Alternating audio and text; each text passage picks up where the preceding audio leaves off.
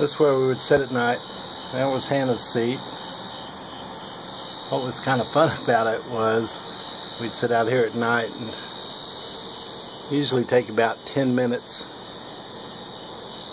sometimes a little less, and she would uh, come and scoot over and come sit on my lap. We just kept talking.